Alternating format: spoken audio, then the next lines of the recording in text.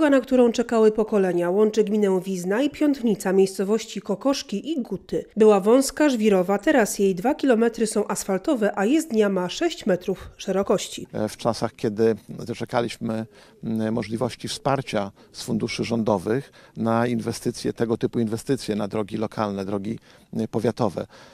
E, Odcinek e, długości dwóch kilometrów e, został wykonany przez, łomżyńskie firmę, przez łomżyńską firmę Przedsiębiorstwa Budownictwa Komunikacyjnego. Dzięki porozumieniu dwóch samorządów gminnych inwestycja mogła zostać zrealizowana. Wniosek do Rządowego Funduszu Rozwoju Dróg złożył starosta, a zarząd powiatu wykazał się dużą odwagą planując tę inwestycję. Jak mówili mieszkańcy okolicznych miejscowości, uroczyste otwarcie drogi Guty-Kokoszka to dla nich dzień niepodległości, bo od 40 lat zabiegali o remont tej drogi w różnych instytucjach i zawsze otrzymywali jedną i tą samą odpowiedź – brak środków. Kurzyło się, kurzyło się, nierówno było. Wreszcie jest dobra droga. Tego dnia w naszym województwie oddano także do użytku kolejny odcinek Szczuczyn-Ełk drogi ekspresowej Via Baltica. Podczas otwarcia tego fragmentu drogi obecny był minister infrastruktury Andrzej Adamczyk, stąd jego obecność na ziemi łomżyńskiej. Minister Adamczyk tuż przed konferencją prasową rozmawiał z mieszkańcami Nieławic, Choszczewa i z obecnymi na otwarciu samorządowcami. Kiedy jesteśmy na takiej drodze jak e, droga ekspresowa, o parametrach autostradowych, bo trzeba powiedzieć, że się udała, prawda? To tutaj w tym regionie kiedyś mm, jeszcze tylko marzenie, dzisiaj znakomita droga, która nie odbiega parametrami od najnowocześniejszych dróg na świecie, w Europie, ale i poza Europą na innych kontynentach i nagle przyjeżdżamy tutaj do małej miejscowości i słyszymy taką oto wypowiedź, że jeszcze przed rokiem pokonanie tego odcinka drogi to było wyzwanie dla człowieka zdrowego, tak? ale już osoba starsza, chora, małe dziecko miało naprawdę trudności z tym, żeby w zimie tą drogę pokonać. Dzisiaj już będzie na pewno inaczej i to jest właśnie olbrzymia satysfakcja, że możemy realizować marzenia, oczekiwania. 40 lat Państwo mówią, czekali na tą drogę.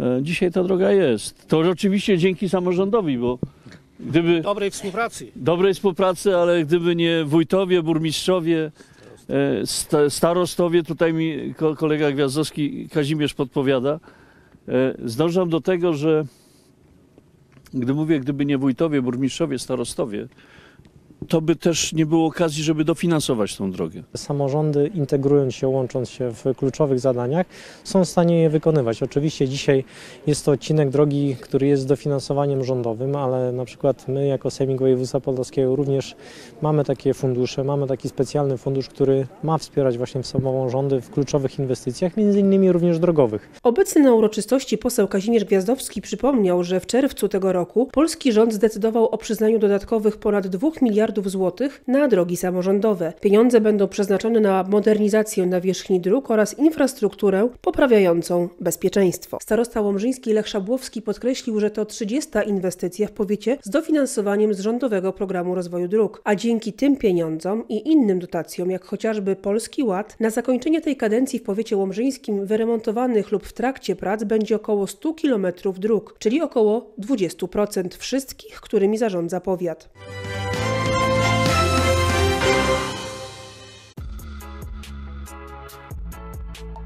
Startup Summer Camp, czyli innowacyjne pomysły i marzenia, które mogą stać się biznesem. Po raz czwarty odbyła się letnia konferencja, która umożliwia środowisku startupowemu integrację i wymianę doświadczeń. W tym roku spotkanie organizowane przez Polską Agencję Rozwoju Przedsiębiorczości odbyło się w Supraślu. Potencjał, który jest w Summer Campie, w ludziach, którzy tworzą ten Summer Camp, jest niesamowity. Okazuje się, że przy czwartej edycji mamy coraz więcej zgłoszeń, coraz więcej pomysłów. To są innowacyjne pomysły, to święto innowacyjnej polskiej gospodarki. Należy podkreślić, że ponad 1100 pomysłów zostało e, sfinalizowanych, zostało zrealizowanych i te pomysły rozwijają się na rynku krajowym, ale także międzynarodowym. W tegorocznej edycji wzięło udział ponad 200 uczestników, w tym ekspertów i prelegentów. Gościem specjalnym Startup Summer Camp był Jacek Żalek, sekretarz stanu w Ministerstwie Funduszy i Polityki Regionalnej. z perspektywy odpowiedzialności za państwo musimy zdawać sobie sprawę, że w dobie wyzwań technologicznych, w dobie wyzwań cywilizacyjnych, w dobie wyzwań rynkowych, na progu kolejnej rewolucji, tym razem rewolucji sztucznej inteligencji, my musimy naszą gospodarkę dos- dostosować do tych warunków rynkowych. I od, od zaangażowania tych młodych ludzi, od ich e, pomysłowości będzie zależała e, kreatywność i pozycja rynkowa naszego rynku. Dwa dni debat, wymiany doświadczeń i konsultacji, wszystko po to, by wzajemnie się motywować i inspirować. Partnerem wydarzenia było Ministerstwo Funduszy i Polityki Regionalnej. W każdym regionie pozyskujemy nowych e, beneficjentów, nowych startuperów, a takie spotkanie pozwala też e, startupom zapoznać się między sobą, wymienić jakieś doświadczenia, poznać się, może zacząć współpracę. Mimo pandemii, wojny na Ukrainie i dynamicznie zmieniającej się sytuacji gospodarczej na świecie, uczestnicy Startup Summer Camp polecają ten sposób na biznes. Jest ciężko, jest trudno, nigdy się nie poddawaj. Postaraj się dostać jakiegoś programu akceleracyjnego, wtedy nauczą Ciebie jak myśleć o biznesie, a żebyś mógł wyartykułować swój pomysł. Nauczą Cię ludzie, którzy już to zrobili, a nie teoretycy e, i przyjdź do przodu. Myśmy Dwa razy składali wniosek o dotację, za pierwszym razem się nam nie udało, nie poddaliśmy się, za drugim razem się udało. Powodzenia Wam wszystkim życzę. Według badań aż 70% konsumentów jest gotowych płacić więcej za dobrą i przyjazną obsługę. Dlatego tak ważne jest myślenie o emocjach ludzi na każdym szczeblu, od klienta do prezesa. W Supraślu mówił o tym Mr. G, marketingowiec z zakresu brandingu i relacji z klientami, który swoje doświadczenie zdobywał w pracy z firmami i organizacjami pozarządowymi w Europie, na Bliskim Wschodzie, w Azji Południowo-Wschodniej i Australazji. My speech today is called Startup Like a Buddha, uh, and that is a more holistic view on what it's like to be a startup founder when we're doing business and uh, my experience working and uh, uh, as a mentor as a startup for other startup founders all over the world, uh, as well as from my own ventures uh, as well. So I'll be sharing those insights and with a reflection of um, values which people see as like Buddhist. You know, so we'll be looking at um, definitions of compassion and empathy in business, and how that actually not just uh, grows your company culture, uh, and, and uh, but actually grows your business as well in a holistic way. There was a famous speech by Steve Jobs who spoke about passion. You got to follow your passion, but this is not the case anymore because it's a very, honestly, a very selfish route. You know, and when you run out of that, you quit or you find how difficult the, the walls are and you really start questioning yourself. And so the better source of energy or motivation comes from compassion. When you do it for others, when you see that there is a problem in the market and you want to solve it, you keep going. It's actually, it comes from that courage, even comes from there too. So uh, it's a very difficult road. And I recommend it for people who really want to see actual change. Województwo podlaskie to nie tylko zielone płuca Polski, ale jak zgodnie twierdzą eksperci, to doskonała baza do budowania ekosystemów innowacji, na przykład w rolnictwie. Mamy akurat o tyle dobry region, że nie jest nasycony wielkimi korporacjami. Jak rozmawiam z przedsiębiorcami, którzy wrócili na przykład z zagranicy i rozwijają tutaj startupy, to oni twierdzą, że, że tutaj jest idealne miejsce, bo tych zdolnych ludzi, którzy są potrzebni do budowania zespołów, jest jeszcze całkiem sporo tutaj. Natomiast w innych częściach kraju mm, ci ludzie zostali zagospodarowani przez wielkie korporacje. Konferencja sfinansowana została ze środków funduszy europejskich programu Polska Wschodnia.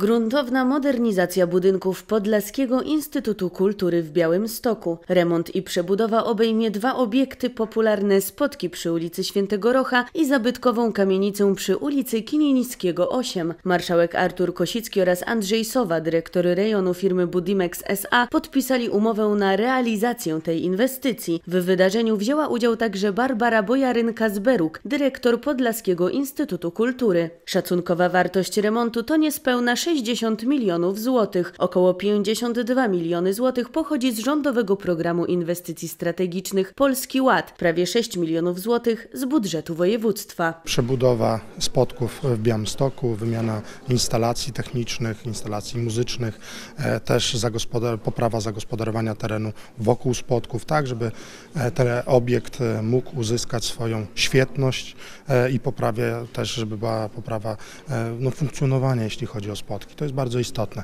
Myśmy w kampanii wyborczej obiecali e, poprawę, e, modernizację, przebudowę, jak to różnie można nazwać w zależności od tego, e, jakie roboty gdzie trzeba wykonać, przy obiektach, które nigdy w historii tego miasta nie były realizowane. Takie właśnie jak teatr dramatyczny, czy też spotki.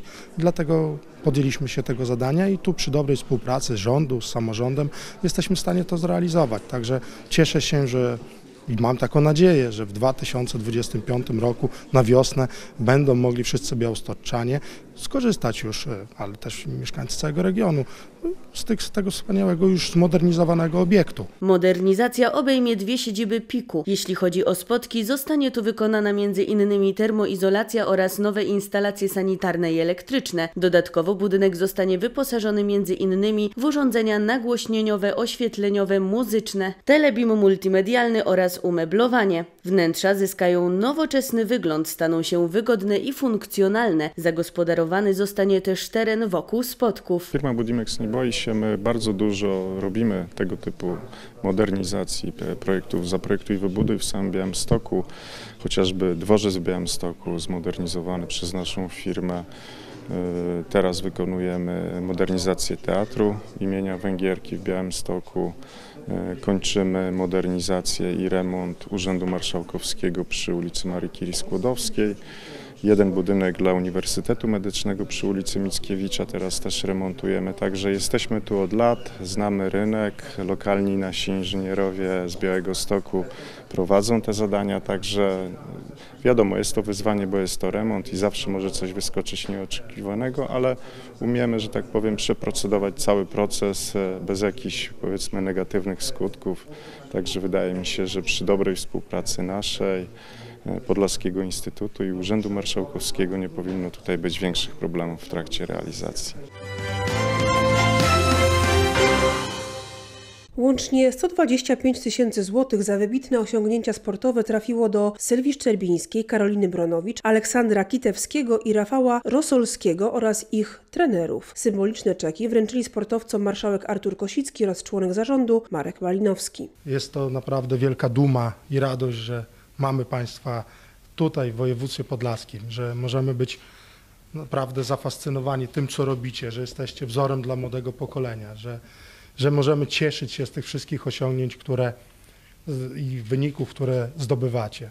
Bardzo serdecznie Wam za to dziękuję w imieniu własnym, zarządu województwa podlaskiego, ale też myślę wszystkich mieszkańców, bo to jest bardzo ważne, że mamy potencjał sportowy i pokazujemy, że jesteśmy potęgą nie tylko w lekkiej atletyce, ale też w kajakarstwie. Samorząd województwa jest przygotowany na wspieranie lokalnych sportowców, zwłaszcza, że Podlaskie ma w tej dziedzinie ogromny potencjał. Docenił także rolę trenerów, którzy oprócz pracy z zawodnikami zaszczepiają dobre wzorce wśród młodzieży. Chciałbym złożyć gratulacje naszym kajakarzom zdobytych medali na Mistrzostwach e, Świata, Europy.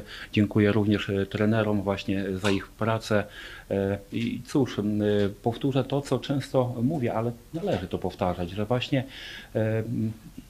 sport to jest jedna z najlepszych promocji województwa e, podlaskiego. Wy to bardzo dobrze robicie i za to Wam e, dziękujemy. 75 tysięcy złotych trafiło do reprezentantów klubu sportowego SKS Kresowia Białystok. Po 30 tysięcy złotych otrzymali Sylwia Szczerbińska i Aleksander Kitewski, tegoroczni mistrzowie świata w kajakarstwie, medaliści Mistrzostw Świata i Europy, członkowie drużyny Team Podlaskie. Michał Mróz, trener kajakarzy, został nagrodzony kwotą 15 tysięcy złotych. 15 tysięcy złotych przypadło także w udziale Rafałowi Rosolskiemu. Zawodnik UKS do Lidy Białystok zajął trzecie miejsce w kategorii K1 na dystansie 5 tysięcy metrów na Mistrzostwach Europy. Jego trener Paweł Skowroński otrzymał od zarządu województwa 10 tysięcy złotych. Karolina Bronowicz z klubu Start Białystok to tegoroczna medalistka Mistrzostw Europy w parakajakarstwie. Za osiągnięcia sportowe, w tym trzecie miejsce w kategorii WL1 na dystansie 200 metrów otrzymała 15 tysięcy złotych. Czek w jej imieniu odebrał Jakub Tokarz, paraolimpijczyk, zdobywca złotego medalu w Rio w 2016 roku. Kwotą 10 tysięcy złotych została nagrodzona jej trenerka Renata Klekotko.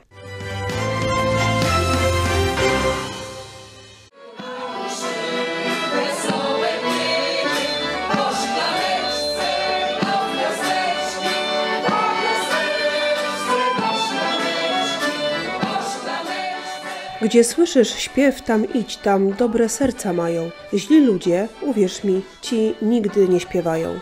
A zespół folklorystyczny Klekociaki z Bociek już od 60 lat prezentuje pieśni, tańce i obrzędy podlaskie. Na początku zespół tworzyli ludowi pieśniarze, teraz składa się z grupy śpiewaczej, kapeli i tancerzy. Od 60 lat tańczymy, śpiewamy i realizujemy różne projekty, nie tylko artystyczne, ale i społeczne, tak jak wydanie historii Bociek, czy budowanie placu zabaw, czy też siłowni zewnętrznej.